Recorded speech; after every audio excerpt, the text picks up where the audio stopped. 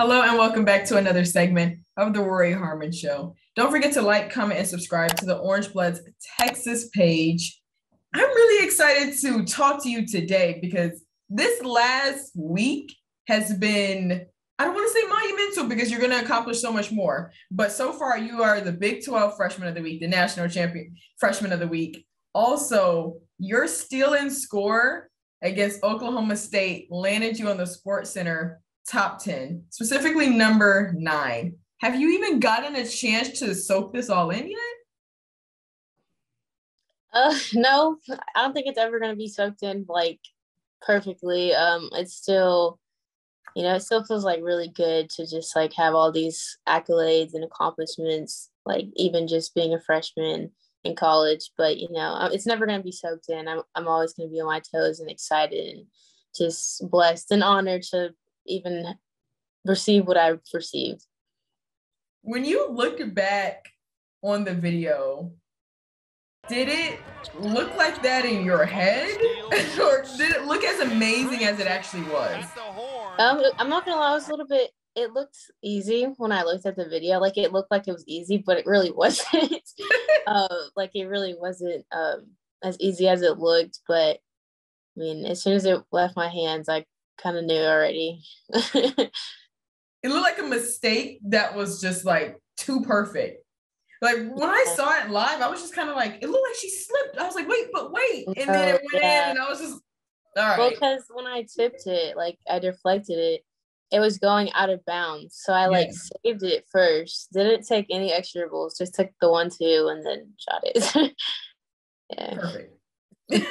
Do you have a pre-game ritual? No.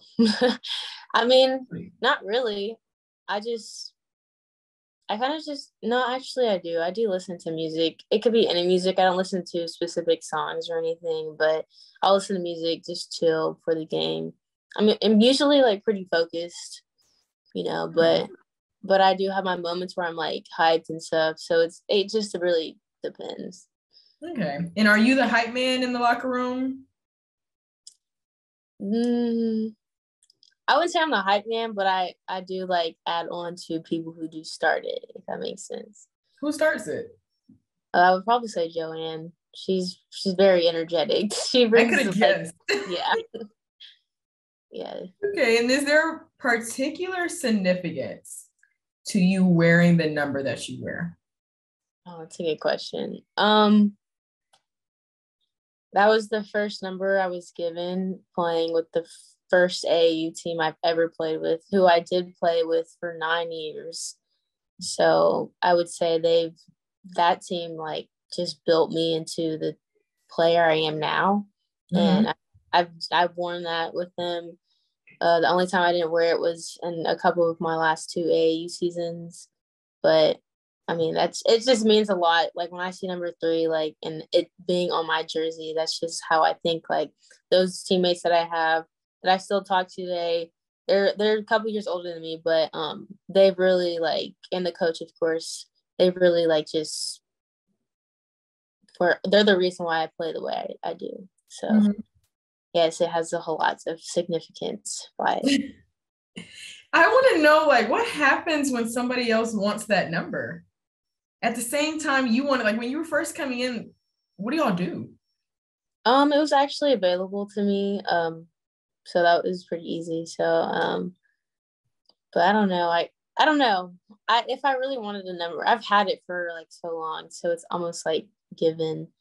I mean, not i mean actually that someone on the AAU team that i moved to they had the number three so i took the number one which was i mean it's not a big deal like i can wear another number and still do what I got to do. But um, I mean, if it's already taken, I'm not like gonna sit there and try to fight for it.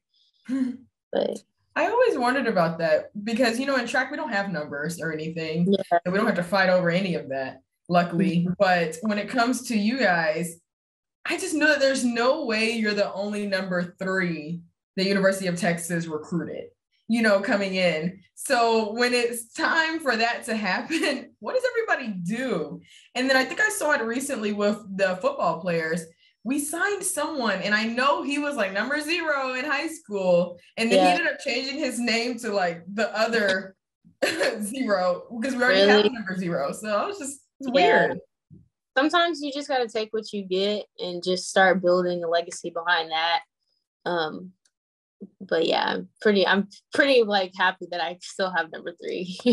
I understand. I think that's a good thing that track does not do that because yeah. I do get caught up on numbers. My favorite number is three. So really? I was in a position I want to be the one who backed down because I need it at that point. Like I'm superstitious about it. I need this number. I, I need to do this ritual before I play. It's just the way it goes. I'm pretty superstitious as well, but like also am that type of person who is completely behind the statement everything happens for a reason. Yeah. So um either way, like if I can't be superstitious about this thing, then I go to that statement and that phrase, everything happens for a reason. So it's just, I don't know. I just go with the flow in a way. But yeah. Why are the fans' support so important for the future of the team? That, well, any, like, even for the just the present of the team, any type of fan support is just going to be mm-hmm. important. It just brings extra energy. Like basketball is energy sport. Like we, you feed off each other. It's a team sport, and mm-hmm. I would mm-hmm. say fans are a part of our team. So you know, we just that would anytime that you have fans now then in the past, it's always going to be important that we have their support. And how do you channel your frustration when things aren't going your way in a game? What do you do? Um, as I've gotten older, um, I've learned more about composure as being like a point guard, especially for Coach Schaefer and at the University of Texas. Uh, there's, I wouldn't say it, there is a lot of pressure, but like my coach always says, he always attack pressure with pressure. Um, so I mean, I kind of just bring myself to say like, okay, this is this is a learning moment, teaching moment. I need to see what I can do when things aren't going the way they need to go. Because I've been in several situations where um, there's been adversity. So I would say I've learned already how to react, and it's just keeping my composure. Any New Year's resolutions? I had none whatsoever. I had none. But I would say I have like I just I had goals already in the past, okay. and they're like they're already they kind of floated to this year. Um, so I wouldn't say like they're partic- particularly like New Year's resolutions, but there mm-hmm. are like goals that I have. None. I okay. I can definitely relate to that one. I don't necessarily have anything where it's like starting January first. I cut yeah. it out. Nothing I didn't like, like that have... necessarily. Yeah, no, nothing like that. But it has been kind of. I've never really done resolutions before, so this year I'm trying to make things a little bit more intentional. Yeah. So just whatever it might be, I'm like, okay, I wanted to cut that out. Now, since we're in 2022, let me actually do it now. Stop yeah. procrastinating. It's been done. Let's do it. That's yeah. how I feel about it. Yeah, of course. That but it was really, really good to catch up with you. I know it was short today. I try to keep it short with you because I know that you face Texas Tech tomorrow. Yes. Mindset going into that game. This I guess a good team. That's I mean, of course, any team in the Big 12 is going to be like any game is going to be a good game. I would just say we just it's our home court advantage, mm-hmm. and so mm-hmm. you know we have our supportive fans, of course, and we just we haven't lost at a, like at home yet, so that's what we need to do going into this game. Perfect. And don't forget to like, comment, and subscribe to the Orangebloods Texas page.